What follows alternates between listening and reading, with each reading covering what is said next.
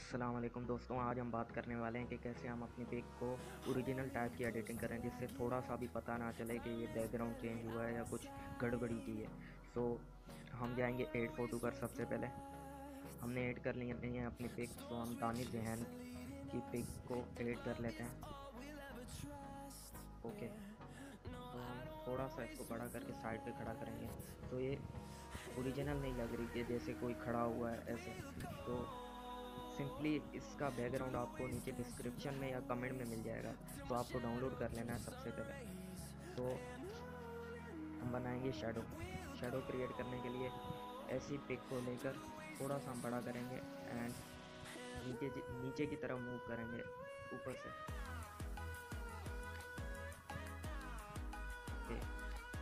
तो हमने नीचे मूव कर लिया है तो हम थोड़ा सा बड़ा करके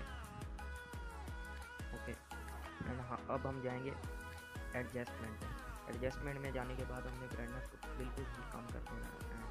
ओके एंड हमने चले जाना है यहाँ से ओबिसिटी एंड इसको कर देना है कम, अपने हिसाब से। एंड पिक को लाएँगे ऊपर। तो ओके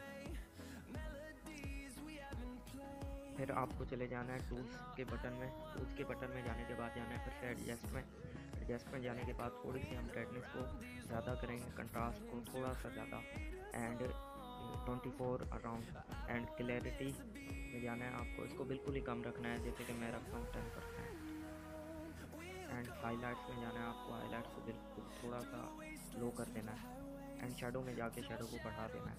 एंड और बस आपने कुछ नहीं करना एंड फ़ोटो को कर लेना है सेव अपनी पिक को आपने करना है गैलरी में सेव तो सेव करने के बाद हमने चले जाना है लाइट रूम में। तो हम लाइट रूम को ओपन करते हैं। सो so, अब हम ओपन कर रहे हैं लाइट रूम एप्लीकेशन तो आपने सबसे पहले अपनी पिक को इसमें ऐड कर लेना है। ऐड कैसे करेंगे? आपने प्लस के आइकन पे क्लिक करना है एंड आपको सबसे ऊपर अपनी पिक मिल जाएगी। तो हम करते हैं थोड़ा सा वेट ओके हमारी पिक आ चुकी है। तो हम इस पर करते हैं क्लिक पिक पे कर दी क्लिक एंड कर लिया एट एट बटन पे क्लिक एंड आपकी हाल फ़ोटोज़ में वो पिक शो होने लग जाएगी। तो हमारी पिक आ चुकी है।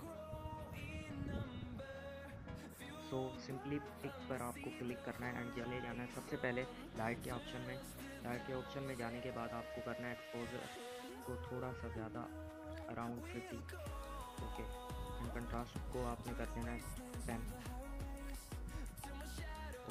हाईलाइट को आपने कम कर देना सॉरी ओके थोड़ा सा हम करेंगे हाईलाइट्स को कम। Around twenty twenty six and shadows को थोड़ा सा हम बढ़ाएँगे। जैसे कि ओरिजिनल लुक का है। एंड ब्लैक्स जो ब्लैक्स हैं, इसको थोड़ा सा हम कम ही रहने देंगे। एंड हमें चल जाना है। सिंपली कलर के ऑप्शन में कलर के ऑप्शन में जाने के बाद ये मिक्स वाला बटन है। इस पर हमने करना है क्लिक एंड हमने अपनी शर्ट के कलर को देखना है एंड कलर पर क्लिक करनी है। शर्ट के कलर को हमने कर देना सिंपली चेंज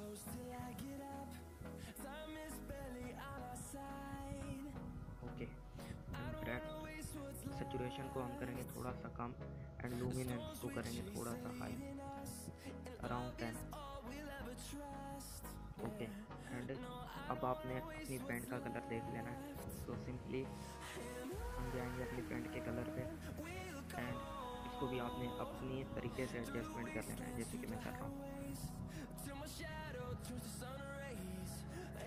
ओके और सिंपली हमने डन कर लेना है डन के क्लिक बटन पे क्लिक करने के बाद अब हमने थोड़ा सा क्लियरिटी को बढ़ा बढ़ा देना है अराउंड टेन